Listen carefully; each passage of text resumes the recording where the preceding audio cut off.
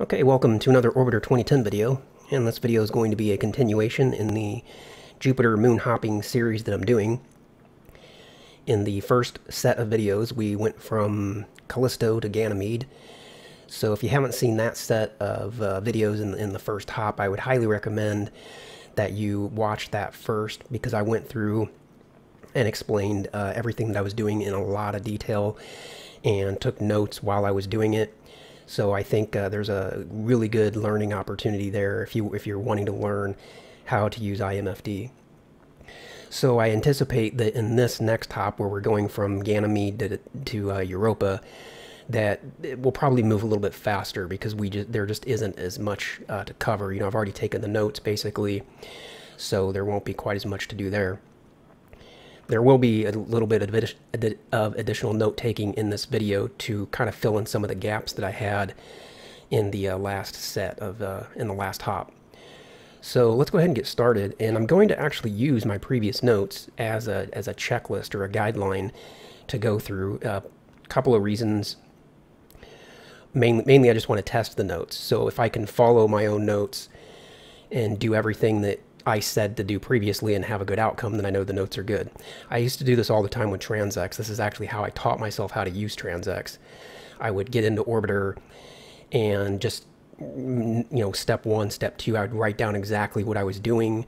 Then I would go back to those notes and just go through it step by step and until I ran into a problem and then I would fix the notes and so on. And anytime I ran into something I couldn't answer, I would uh, back then I would contact FlyTandem through Orbiter Forum because I wasn't I, I, didn't know about uh, Dimitri back then, so I was always talking to FlyTandem, and he was always great about answering my questions and helping me learn fly, uh, TransX. Without him, I don't know if I ever would have learned TransX, and without Dimitri, there's no way I would have learned IMFD. At least not not as uh, quickly as I have. So let's go ahead and switch camera views here. And let's uh, just refer to the notes here quickly um, so we can see what we need to do first. And uh, these th this is just some stuff here at the top, so we don't need to really, really worry about that. But uh, part one, we're just going to do the same thing we did before, and that is to open IMFD and bring up the target intercept program. And we get to that by menu course target intercept. So let's do that. Bring up IMFD, menu, course, target intercept. And there we are. And then the next step, we want to target the destination. Eh. Target the destination by pressing target and typing the name. So target Europa. Okay, what do we do next? Now in the target intercept program, press the press NXT until you get to time of flight unlocked. Then we want to toggle that to locked. Okay, so let's do that. And now we want to go to the MJD of arrival, which is under the TIN. And we want to use plus or minus to find a more efficient time of arrival. The best time of arrival is when the DV is at its lowest. So let's do that. So we're coming to uh, the MJD here. And in fact, a quick point, when the when the time of flight's locked, it actually doesn't matter which MJD you're using, but we'll just use this one. So we want to find the most efficient time of arrival. That's going to be when the uh, total delta velocity is at its lowest. And again, this the OV is what it costs us to leave this body, and the IV is what it costs us when we get there. Uh, it's interesting to note that those are different because if you're going to a body like Earth or Mars that has an atmosphere, uh, then you can kind of ignore the IV and just focus on getting the lowest OV because you're going to use the atmosphere to brake when you get there. So let's uh, do these adjustments and watch our OV, or watch our total rather, and find the lowest number. 5, 4.4, 3.9, 3.5, 3.2. Now it's going back up, so let's back up to uh, the 3.2.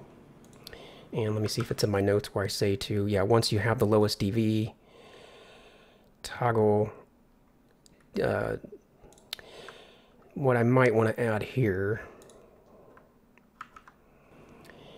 well, I, mm, I, I, what I want to add in there is once you find the lowest DV using the MJD, you can also refine it using the uh, using the TIN.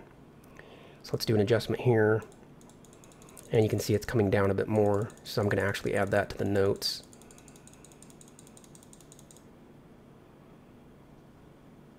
So let's go to there. Now that now that's the lowest. So let's just add in a step here real quick. So step five is once you have the lowest D DV width by just adjusting MJD, then go to TIN or let me just say TIN, then go to TIN and do a further adjustment to and then do a further adjustment. The TIN slash TEA adjustments are finer. Actually, let's put that in italics. Are finer. So you get more granularity. I think everybody knows what I mean by all that. Okay, so we've done that. Now let's go, once we have the uh, lowest DV, toggle time of flight of locked uh, back to off, and then we want to go to the MJD of the ejection, and we want to adjust, we want to adjust the ejection to see if we can bring this down even more. And you can see it went down some more. 120, 115. Now it's going back up. And I believe I have that in the notes here go to the MJD and use plus minus to find a more efficient time of departure. Okay. And I guess I don't have it in this part where you go back and forth. Maybe maybe that's a little bit later. But uh, again, you know, when you get to this point, you can also, now that we've brought it down a little bit more on that side, we can try to bring it down more now that these are unlocked by doing that And that's you can see it went down a little bit. We went from 115 to uh, 096. And now it's going up, and we can do finer control here using TIN and TEJ just to find that, make sure we got that lowest point. Oops, that's too much of an adjustment. Let's go to 10. See, it's still coming down, and that's uh, that's you know that's quite a bit.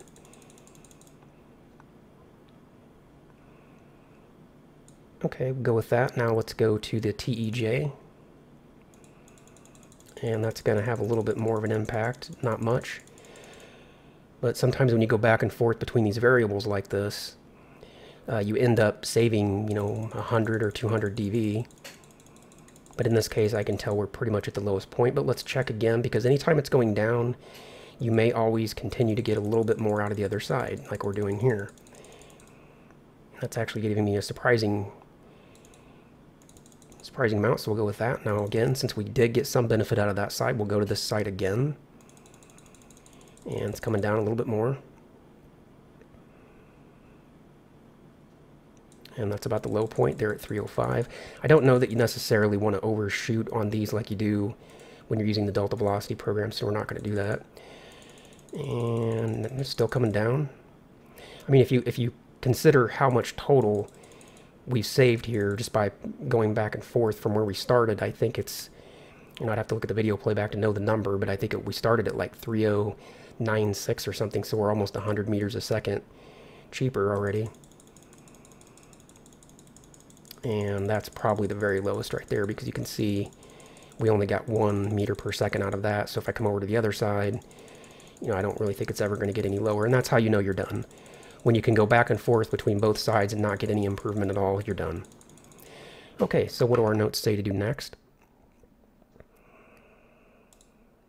Okay, if your departure MJD is greater than one day, in other words, if it's more than 86.4K, then use the scenario editor to move the date forward or use time warp until you are just 24 hours from the departure time. TEJ will be about 86.4. So what we're talking about there is our TEJ in this case, uh, it's only, you know, it's less than a day out, so we're not going to do any kind of time warp or scenario editing on the date. But if the TEJ were like 500,000 or if it were like, you know, a million or something, then you would want to bring up the scenario editor and just get within one day of launch because, uh, for one, you don't want to sit there for that long and wait. And for two, once you warp time forward by a whole bunch, then things can kind of change a little bit. Your the plan that you have set up won't quite be valid, so you you definitely want to warp time forward and then kind of refine the plan. So we don't have to do that, but now let's see what our next step says. After you have adjusted the MJD and found the lowest DV, change to the TEJ variable and make adjustments to ensure the DV is actually at its lowest value. Note that when you adjust the TEJ, you will probably need at least 10x setting, and in some cases, you will want to start. You will want to start. You will want to start with a 100x setting. So basically, that's what we just did. You know, when we were sitting there going back and forth between the TEJ and the TIN, and that's actually what it says here. Now alternate between the TIN on the right and the TEJ on the left to dial in the, the absolute lowest uh, delta V. So we've done that. Once you have once you have the lowest DV, toggle time of flight unlocked back to time of flight locked. So let's do that. Now we're locked. And go to the MJD of departure or arrival and advance time forward and see if you can get a significantly lower DV at some point in the future. Uh, kind of a note here. Note, since the time of flight is locked, it doesn't matter if you adjust the TIN MJD or the TEJ MJD. So with this locked, everything that you change here has the exact same effect on the, this side. So in fact, it doesn't matter which one you edit. But you might remember in the last uh, video, again, hopefully you saw that hop where we were talking about, you know, once you have the lowest delta V here, this is the very next opportunity. But we may find actually that we can accomplish the same flight if we uh, go forward in time to another to another position don't take it for granted that the very next solution that you find is the absolute best. In a lot of cases, it won't be. So one thing we did in the other video too, and we'll do it here again, if we bring up TransX, and again, the only reason we're doing this is because we just want to see where the line of nodes is at. There's no way to do that using this MFD. So we're going to go plus, uh, we're going to go to escape rather than we're going to go forward, and we're going to select Europa. Press VW to bring up the eject plan, then put in some amount of prograde. It doesn't matter how much, so one click is fine. And now we've got the line of nodes. And again, we can eyeball it. So if we count three buttons down, and it's a, it starts at about right there and goes across to about right there. But I like to use this line drawing tool. And again, I'll, I have links to this in the description down below. The This part of it is free. The distance measuring part is free, so you can download it and use it for free. And we're going to lay that red line right over top the line of nodes. About like that. And maybe do a little bit more adjustments. In, in, a perfect world, you wouldn't be able to see the white line if we get the red line exactly where it needs to be, but that's good enough. Now we're going to drag this line until it's straight over top the middle of Jupiter. Right. Right there maybe up one more pixel right there. And you can see, uh, you know, if you kind of eyeball it, that that, you know, it's, it's where it needs to be. But the point is it needs to be over top the center of Jupiter. And so now we have sort of an artificial line of nodes in, in interplanetary MFD. What this tells us is that we are leaving Ganymede here and we are arriving at Europa over here. So we're not arriving at a node and we're not leaving at a node. Actually, I guess it's, it's mainly, I think it's the arrival that matters, not so much the departure, but we're not arriving at a node. So it very well may be the case that we get a significantly lower total delta V if we bring time around until we happen to be arriving at a node. And let's find out if that's the case. So we've got the time of flight locked. And we'll want to make a note of what our current delta V is so that we know if we're beating it or not because it's very easy to, to, take time forward and see another number and then you're like, okay, I actually don't remember if this is better or not. So the total here is 3002 and like let me just put it in, in parentheses. I want to put that breakdown 1.399 slash 1.602 is the breakdown. Okay, so 3002 and uh, with, with the time of flight locked, we can always get right back to this exact position so we don't have to worry about saving the scenario or anything like that. So up here to the MJD, and we're going to go forward. It's on 10, I don't want that, so actually let me go back to 10 and then rewind back to where I was, and then now to 1, and now go forward a little bit at a time. And I'm just watching the total DV. Again, we're looking to beat 3,000.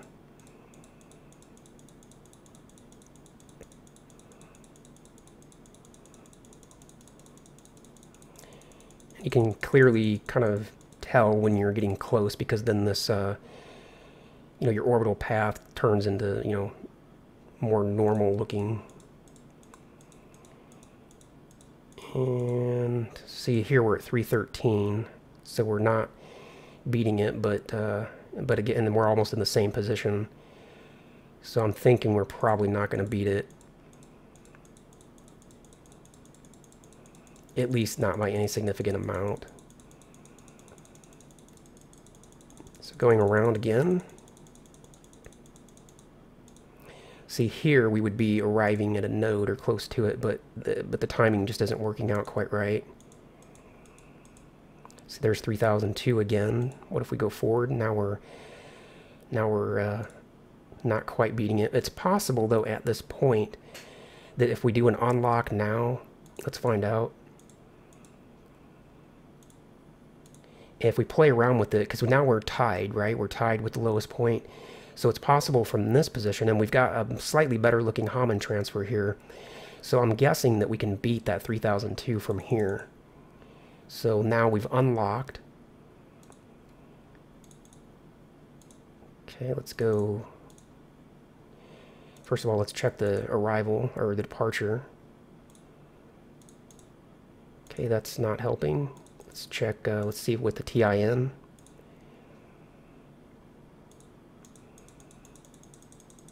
Coming down a bit.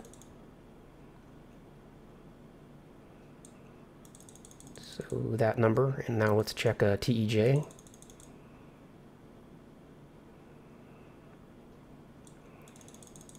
and back this way. So it's not a big savings. It's only 8 meters per second, but it does, you know, show that there is some potential savings, you know, depending on uh, how you do this. So let's lock again and let's see if we can find a better solution yet. And, you know, something Dimitri always says, when you do this, you have to pick a point where you decide that's good enough. I'm not going to mess with you know, five or six meters per second. It's not worth my time. But the fact of the matter is, you can't know how much better you can get unless you check. So, but at some point, you need to, you just have to decide, okay, that's enough. So let's go back to the 1x. Let's go forward. And now we're looking to beat, actually, let me go back, so I already forgot exactly. Now we're looking to beat 2993. Let's go forward and we can when we get like that we know that it's just going to get worse so we'll just swing it around very quickly and then we're we, we're not going to get a better delta V until it starts to look more like that so there again we're not really beating it but it kind of looks to me like we're almost getting a little bit of an improvement sort of every time we go around one time so let's kind of see what we have here no Wonder why that's so high. That's interesting. All right, let's go all the way around. We're just going to do this like one more time, and then we'll pick whatever we've got. So now we're down to 2989. See, that's a bit better. So we'll take that, but let's go forward. That doesn't help. Backwards. Now we're going to do the same thing. We're going to unlock. And at 1x, let's see what happens if we adjust the arrival. That's worse. That's worse. Let's adjust the departure. That's worse, and that's worse. So last thing, we'll go to the TIN, do an adjustment here, and just play around, see if we can beat 2989. And that's coming down. So now we're saving, compared to the first thing that we came up with, we're now saving 23 meters a second. Not huge, but, you know, again, if you're really looking to push things to their limit, then this is kind of what you need to do. Now, arguably, if I kind of wanted to keep the time close to the current date, because I'm recording this video like March 10th, um, yeah, March 10th. So when I took off originally from Callisto, I was really close to the actual date. Now I'm saying that I'd be pushing the date out by like, you know, two uh, 2 million, that's uh, like almost a month. So if I want to say that I don't want to save that extra 20 or so meters per second, then I can go back to the first one that I had, which had the delta V of 3002, and it would be much closer to, the, to today's actual date. In fact, it is today. But let's go for the lowest DV. Let's be let's be DV freaks here. Can blame Dimitri for that one. Turn me into a total DV freak. okay, uh, I'm going to say that's good enough. Obviously, if you want, you can continue to play with this a little bit more, and you might even be able to do better if you get this closer to a Hohmann transfer. You can see we are leaving here, we're arriving there, and maybe if we go forward one or two more times, then we'll have a more perfect Hohmann, and we'll save another 20 or 30. It's possible, but we're not going to uh, do any more because just you know time becomes an issue. So let's uh, kind of do what we have in our notes, which is when the TEJ is greater than a day, we want to move time forward until the uh, date is just one day out. And then we, we already have that in the notes. And again, that's going to be, it's going to be 20 days or so.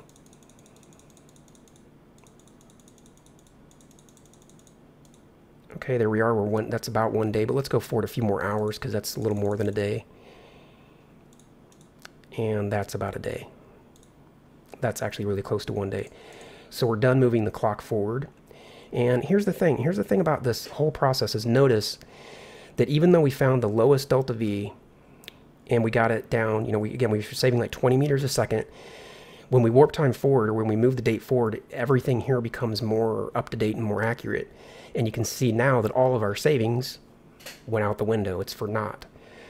So what I'm going to do actually is I'm just going to reset the date back to today. That way we can keep the uh, date around the real time. Eh, I'm not going to bother doing that, but I mean, you get my point. Uh, sometimes when you're looking at, when you're setting all this stuff up so far in advance, it just, it's a waste because you end up losing all your gain by the time you uh, bump the clock forward. But as long as we're here, let's just play around a little bit with the TEI, TIN and everything and see maybe if we can get it back down to that low point. Yeah, we're getting a little bit of benefit there. Let's do 100, see if that, uh, that's too much. So at least we're getting some of our savings back. It's down to there, now over to the TEJ. Taking away a little bit of that time. So I guess, it's still a little bit worth it. We're, we're still getting 22 meters per second savings by by doing this, but it's not as much as it was before we move time forward. And again, that's just one of the things I've noticed that, you know, once you move time forward a bunch, you, you lose some of your benefit. So a little bit of change there. Still coming down. No, 79 is the lowest, so we'll, we'll take that. Okay, now, and again, we're, we're done with this uh, line drawing tool, we can close that out, control, click, that's gone. And we don't need uh, for anything. And we're less than one day out, so let's go ahead now and bring up IMFD on this side. Actually, let's look at our notes. So go to the MJD, and we've already done all that. So we've, we've done everything that we wanted to do there in part one. So the next part, for some reason there's an extra page in there. The next part is to uh, bring up IMFD on the other side and share it with the other instance of IMFD. So bring up IMFD over here, menu, share, side one. Now load the Surface Launch program and make sure that it is using the course program op mode. So bring up Orbit Eject. Is that what I said? No, Surface Launch. Bring up Surface Launch and make sure that the op mode is course program, which it is. Now set the target orbital altitude located right under the course program on the left side of the MFD, not the right side. It's over here. So set, and again, I'm going to go for 30K. Okay, now the right time to, uh, let me say launch, is dictated by two factors. The first factor is how close you can get to a 90 degree heading in some cases, such as being on the moon or being on a moon like Ganymede. The launch heading simply does not matter. So actually, let me check that. So here we are on Ganymede. You can see our velocity. What I meant to say there was not Ganymede, because I was on Callisto when I wrote this. So you can see our rotational velocity on Ganymede is 25 meters per second. And as I explained in the other hop, when you take off and go to the 90 degree heading, this velocity is working in your favor. So it would cost you 25 meters per second less to get to your orbital uh, velocity if you're going, you know, like with the movement. So you're the the uh, body's moving this way, and if you're moving with that, then it's kind of throwing you forward.